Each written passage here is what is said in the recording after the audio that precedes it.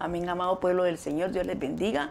Somos Iglesia El Los Ángeles, transmitiendo desde, nuestra casita eh, aquí en, la Hoover y, 83 calle, desde Los Ángeles, California, a donde a cualquier parte del mundo donde este programa se mire, estamos bajo la cobertura de nuestro apóstol Jorge Fuentes. Y a ti te, hoy en el nombre de Jesús te bendecimos y tengo el gran honor, el deleite en este estudio de televisión eh, de contar con mi amada hermana Silvita. Silvita, Dios te bendiga. Dios te bendiga, y gracias, mamita, y eh, un saludito para el pueblo. Gloria a Dios. Gracias, amadas hermanas, amiga que nos escuchas. Gracias por permitirnos entrar a la intimidad de tu hogar. Esta tarde vamos a hablar, o noche o mañana, donde quiera que tú nos mires, vamos a hablar de un tema muy especial, nuestra doctrina básica, que es, y el tema del día de hoy será el bautismo del Espíritu Santo. Espero que estés ah, escuchando las pláticas que hemos tenido anteriormente, ¿verdad? Sí, que han sido nuestro anhelo y nuestro deseo es enseñarte a ti mujer que así como el Señor tan precioso, ha tenido misericordia en nosotros y nos ha enseñado eh, su preciosa palabra. Quizá tú no, has, no la hayas escuchado antes, o tal vez tengas preguntas, o quizá no conoces del Señor. Entonces esta es una bella oportunidad para que aprendas y juntas aprendamos y, así poco a poco nos vamos a ir eh, edificando espiritualmente. amén. amén. Porque Silvita, cuando nosotros damos esos temas, nosotros aprendemos bastante. Claro que sí. ¿Verdad? Al estarlos estudiando, eh, aprendemos tanto y, qué, lindo que también te hacemos la invitación de que con tu cuaderno, un lápiz, anotes cosas importantes. Como, fíjate que cuando yo me recuerdo siempre de Ruth, eh, la moabita, iba a espigar al monte, a la, a la huerta o a la parcela o donde eh, tenía su sembradío, ¿verdad? Y ella iba recogiendo espiguitas. Así vamos nosotros en el camino del Señor, recogiendo espiguitas, anotando cosas importantes para que el Señor venga y Él nos, nos edifique, porque nosotros estamos aquí completamente a disposición del Señor. Y así como estamos nosotros también tú. Entonces hoy el bautismo del Espíritu Santo, qué lindo, eh, mamita, porque ya vimos lo que es el nuevo nacimiento. Amén el llegar, el entregar nuestra vida al Señor. El nuevo nacimiento. Y, eh, que el Señor nos sacó de, digamos, del mundo claro. y nos trajo su luz admirable. Luego después fue el bautizo eh, en agua. En agua. ¿Verdad? Donde fuimos sumergidas en el nombre del Padre, del Hijo y del Espíritu Santo. Y lo lindo ahora es que viene el bautismo del Espíritu Santo. Son tres eh, estudios que hemos llevado despacio porque queremos ser edificados y que el pueblo que aquella mujer eh, preciosa que nos está viendo o escuchando también sea edificada de la misma manera y despacito para ir aprendiendo eh, lo que es entonces esos temas tan lindos que es la doctrina básica. ¿Y doctrina básica por qué? Porque son las bases que Cristo usa para que no ningún viento de doctrina nos mueva. Claro que ¿verdad? Que no venga y que y nos digan otro evangelio. No, no, no. Anatema sea esa persona. Claro que sí. Porque es eh, el, la doctrina de Jesucristo. Eh, basada en, la Biblia, donde que es la palabra, de, Dios que da vida. Entonces estamos con la... Eh, ¿Tienes tú ahí para leer Marco, mamá? Sí, tengo Marcos... 1.7. O Marcos 1.7 y dice, y predicaba diciendo, viene tras de mí el que es más poderoso que yo. Eso lo decía Juan el Bautista. a quien no soy digno de desatar encorvado la correa de su calzado.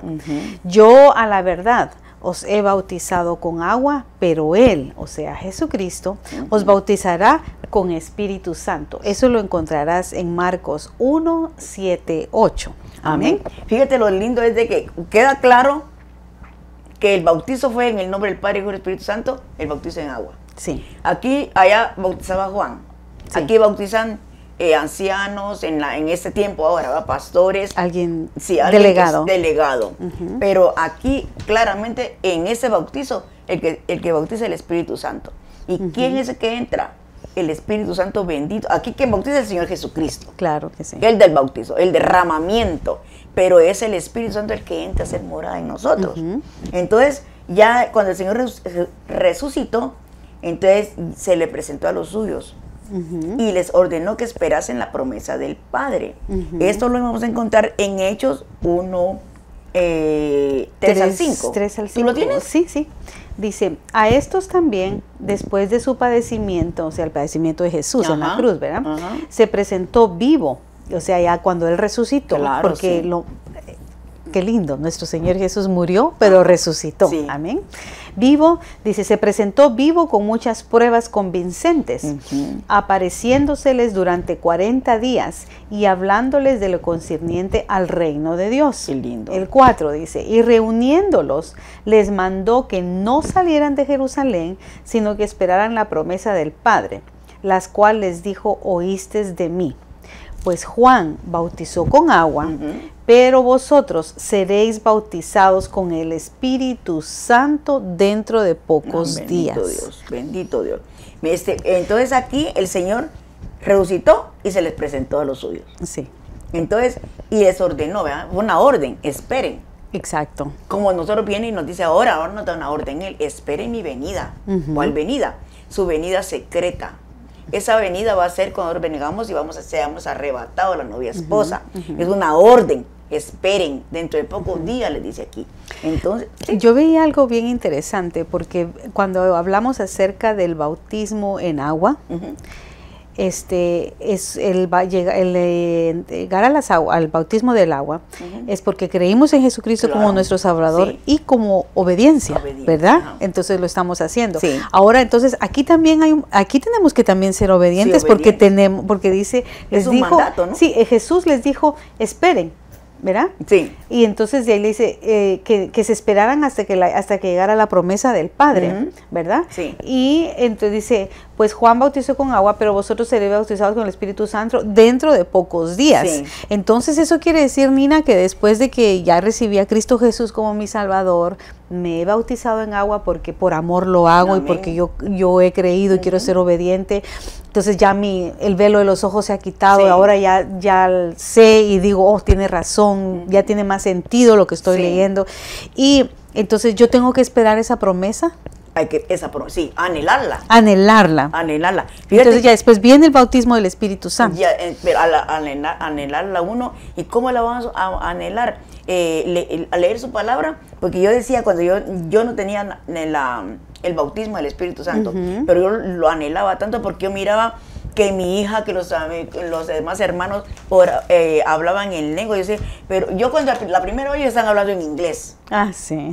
porque yo recién venía de Guatemala, hoy están hablando en inglés, este, pero no, eran las lenguas angelicales, porque yo eso lo oí la primera vez en la iglesia, pero eh, yo empecé a anhelar eso, porque, se- porque me decía, se siente algo rico, algo delicioso, es que viene de aquí, y cómo es que, pero decía, pero co- es el bautizo, son, son ríos de agua viva, me decía. Sí, pero ujú. ¿cómo? Entonces, eh, cada vez que decía el pastor, eh, pasen los que no han recibido el bautismo del Espíritu Santo, yo corría y no me no, no, no, no lo, no lo recibía, pues. Entonces, pero una vez ahí sí pasé, pero me quedé atrás. Empezó el Señor a decir, en boca, vara, vara, vara, vara, vara. Y yo después, con los años, me di cuenta que vara es una palabra hebrea, Ah. que quiere decir crear. Qué tremendo, qué Tremendo, interesante. Señor, precioso, mi rey. Entonces aquí, entonces, él se les apareció, entonces, a 500 se les apareció el Señor. Entonces, pero ya, como dices tú, ya resucitado. Entonces, pero solo 120 recibieron el bautizo. Hay un montón de gente, mamá, que está, eh, ya se bautizó, ya aceptó el Señor, se bautizó. Pero pasan años y no reciben el bautizo del Espíritu Santo. ¿Será que, ¿Será que realmente no creyeron? ¿O será que mm, el, ah, no le pusieron fe? ¿O será que, bueno, no sé qué pudo haber pasado? Quizá tú eres una persona que te pasó eso. Sí. Y, es- sí, y tú dices, pero yo soy cristiana, yo sí- soy hija de Dios, o quizá me alejé de los caminos del Señor, pero cuando yo veo eso, yo lo anhelo porque hay algo dentro de Sí. ti que, te, que, que te, que, que lo, que lo anhelas. Déjame decirte que en aquel entonces fueron, como dijiste tú, fueron 500 los que él les dijo, no se muevan de ahí, pero Sí. poco a poco, conforme iban pasando los días, se desanimaron. Claro. Vino desánimo en Porque ellos porque comenzaron a salirse, ¿no? Yo creo que fue en Lucas cuando le dice el Señor, eran 500 cuando los- el Señor vino y se levantó, en la- se levantó ¿verdad? por el cielo, Jesucristo. Entonces dicen que, que es- se quedaron viendo 500 hasta cuando unos ángeles dijeron, ¿por qué están aquí? Y el Señor les dijo que se fueran al aposento alto, les dio la dirección y todo. El, que, el, mismo, El mismo. que están viendo que, es- que está subiendo es el mismo que volverá. Sí. Que sí. es el que nosotros tú y yo estamos esperando. Claro que sí. Pero aquí viene y ya se fueron 120 nada más al... Solo 120 recibieron la llenura del. Espíritu Santo. ¿Qué sentiría el que el 121? Exacto. Cuando iba saliendo y Yo o yo, sí, ¿verdad? el hermano, nuestro hermano apóstol Otto, Otoniel Ríos Pared decía que tal vez iba por la esquina, ¿verdad? De la casa Qué tremendo, cuando el derramamiento del Espíritu Santo eh, sucedió. este, ¿Tú tienes ahí algo? No, estaba estaba Viendo lo de Lucas. Sí, sí, sí, sí. ok, sí. pero fíjate que cómo permanecieron ellos, unánimes, Exacto. orando. Exacto, orando. Entonces no platicando ni hablando de la gente, no, orando. Pero unánimes, ¿cómo es así? Unidas. Amén.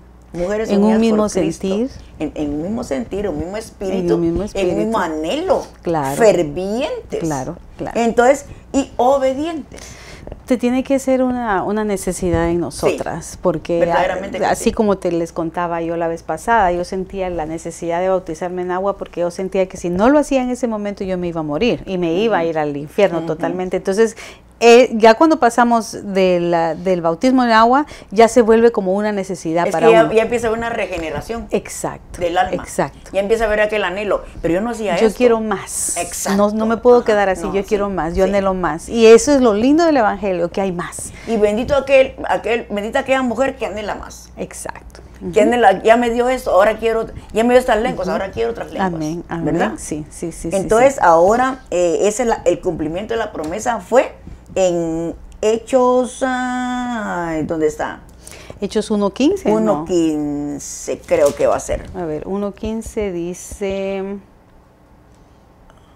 ah, Hechos 1.5, no, déjame ver. Aquí lo tengo. Por aquellos días dice Pedro, creo que es 2. Aquí 2. Eh, 2.3. 2:3. 2.2. Hechos 2.2. De pronto De- dice. Ah, Léalo. De repente, dice la mía, vino del cielo un ruido como el de una ráfaga de viento impetuoso que llenó toda la casa donde estaban sentados. Y se les aparecieron lenguas como de fuego que repartiéndose se posaron sobre cada uno de ellos. Dice, todos fueron llenos del Espíritu Santo y comenzaron a hablar en otras lenguas, según el Espíritu les daba habilidad para expresarse. Aleluya. Amén. Fíjate, pero esto pasó en la fiesta de Pentecostés. Exacto. 40 días después, Después. que ellos vieron que el Señor se fue y el Señor les dio la orden. Entonces, quiere decir que ellos tenían 40 días de estar esperando. Sí. Pero estaban, como decíamos, unánimes, orando. fervientes, orando. Entonces, y qué lindo. fíjate, Obedientes. obedientes. Y fíjate que, bueno, entonces fue, fue en la fiesta de Pentecostés. Y dice, todos están reunidos en ese lugar. En pe- Pero dice, en la Biblia que yo tengo, dice que un viento fuerte resonó. Quiere que fue aquella cosa rotunda Ajá. Que entró Algo fuerte. algo un fuerte sonido muy fuerte. y los lo llenó del. Espíritu Santo. Entonces, ¿cómo es el bautizo del Espíritu Santo? Ahí lo tenemos, ¿verdad? Sí. El bautismo con el Espíritu Santo consiste en la manifestación del poder recibido de lo alto. De lo alto. Ahora, eh, hay muchas personas que piensan que eso de- del, del Espíritu Santo, hablar en lenguas, eso, eso quedó en el olvido. Obsoleto ya no. Pero no, no, porque este eso permite testificar con efectividad la obra del Señor Jesucristo en nuestra vida. claro. Amén.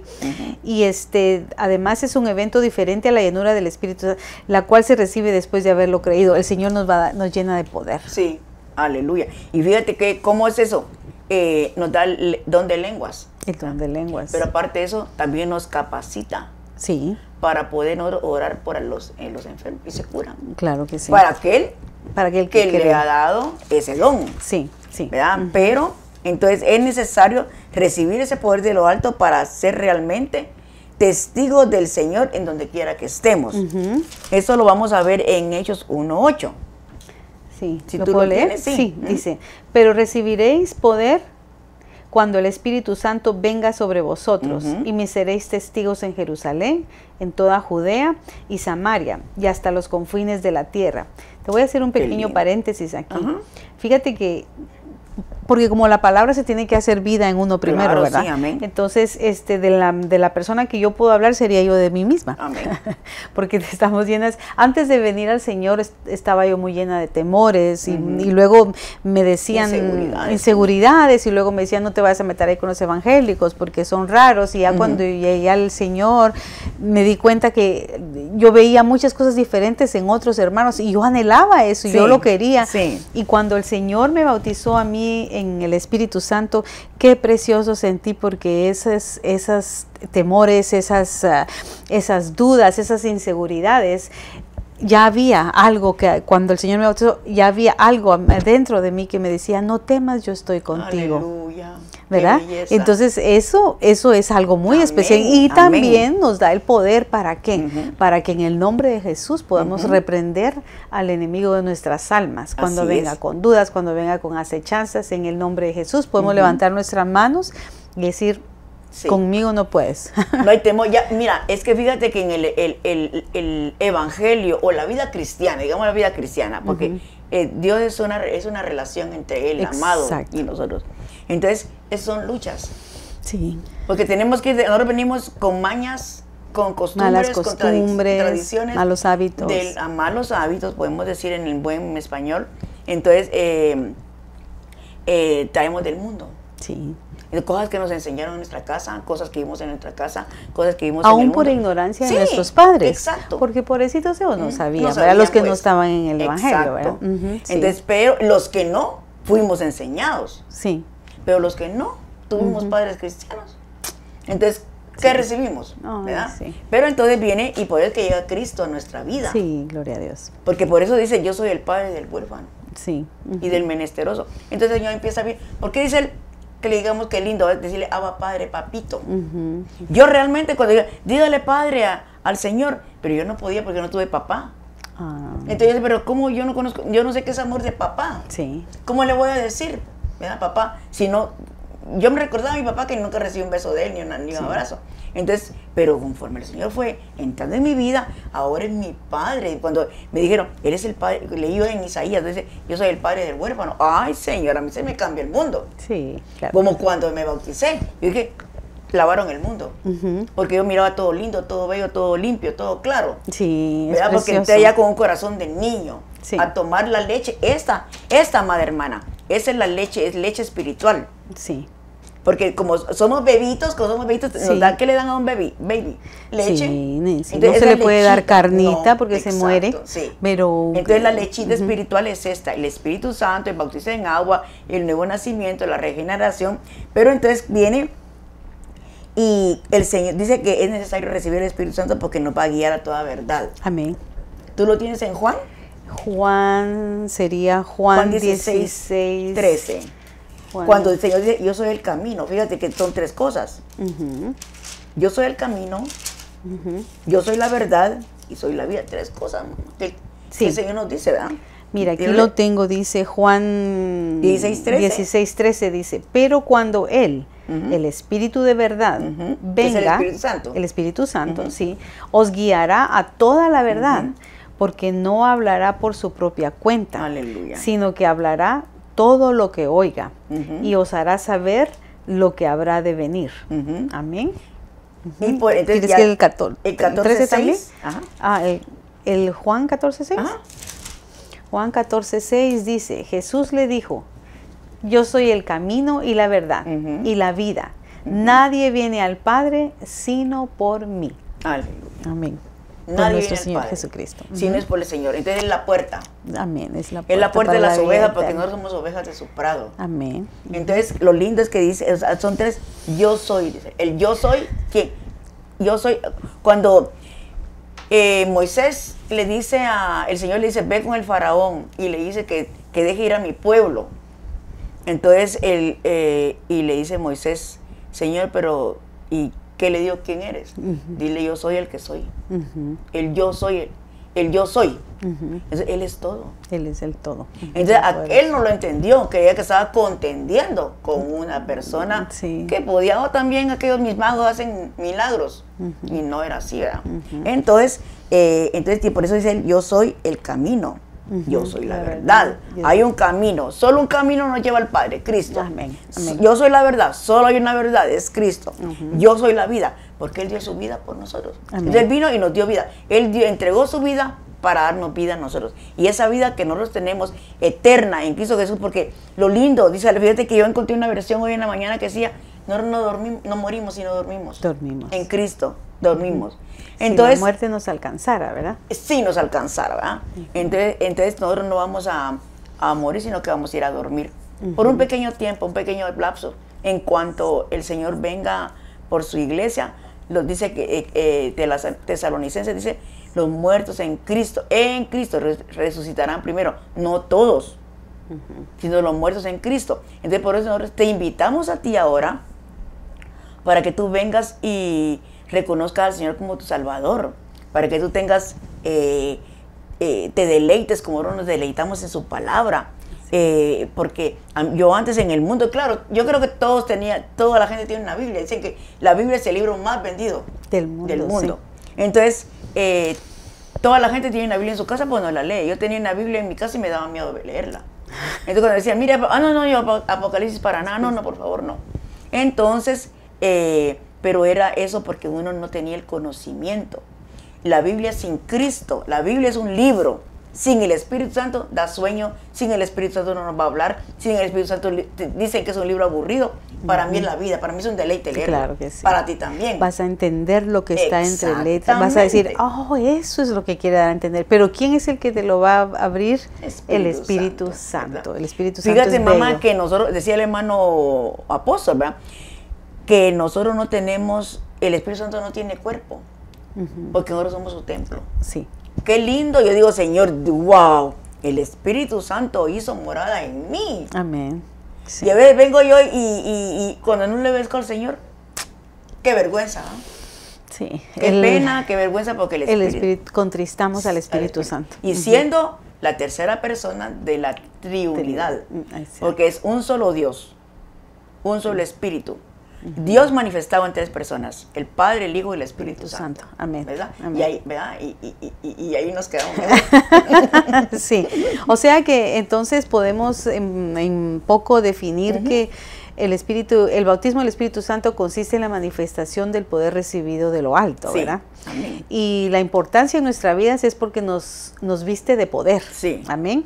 Nos hace testigos de la resurrección de Jesucristo. Nos guía a toda verdad. Sí. Amén.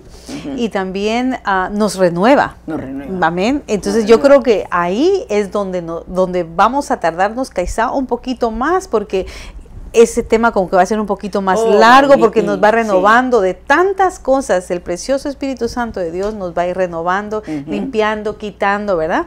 Y luego también nos eso, esa limpieza nos hace dar frutos, que yo sé que tú y yo anhelamos. Yo anhelo dar frutos. Amén. Amén. Dice que hay frutos de arrepentimiento, ¿ah? Claro. Que, es arrepentirnos de lo que hicimos. De lo que hicimos en el pasado. Y aún ahora el Espíritu, el Espíritu Santo bendito que está dentro de nosotros viene y nos dice, mm, eso está malo. Sí. Cuando la gente que en el mundo dice, la conciencia. Sí, pero, pero para nosotros es, que la persona que está entre nosotros, el Espíritu Santo. fíjate, fíjate que dice que, el Espíritu Santo dice, eh, tú me dices autoridad, dice el Padre, el Señor Jesús, y poder sobre todos los que viven en el mundo para dar vida eterna a todos los seguidores que me has dado. Pero Juan 17.3 dice, esta vida eterna la reciben cuando creen en ti y en mí. Diciendo Jesucristo con el Señor Jesús, con el Padre, ¿verdad?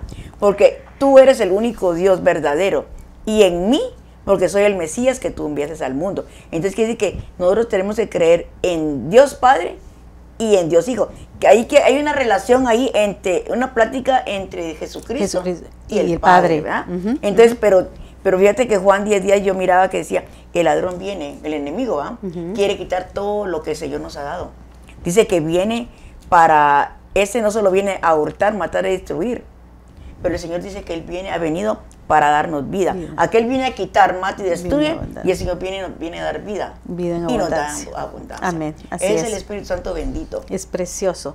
Esperamos con todo nuestro corazón que te hayas quedado emocionada por este, este tema que eh, eh, en realidad es una pequeña introducción, Sí, ¿verdad? Vamos a seguir eh, primeramente con la ayuda del Señor en los próximos domingos, pero queremos esta noche hacerte o tarde hacerte una invitación. Si tú no conoces al Señor Jesús y, lo, y te gustaría recibirlo en tu corazón porque estás sa- deseosa sa- y sabes muy bien que hay algo dentro de ti que te dice que si, si el día de hoy la muerte te alcanzara, ¿sabes tú dónde vas a abrir tus ojos? Exactamente. Y si tú no sabes, porque tú sabes que estás, que no tienes al Señor Jesús en tu corazón, yo creo que es en- hoy es una muy buena tarde, muy buen día para que le abras la puerta de tu corazón al Señor, lo recibas como tu Señor y Salvador, y el día que llegara, si la muerte te alcanzara, tú sabes que eh, eh, tú solamente duermes. Amén. Amén. ¿Nos guías con una oración, Nina, Amén. por favor?